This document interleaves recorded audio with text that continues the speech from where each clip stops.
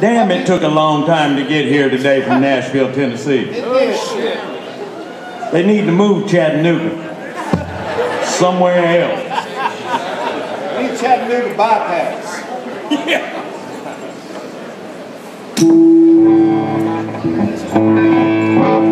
We're starting a little early. We know 10 songs. We're going to play them all for you.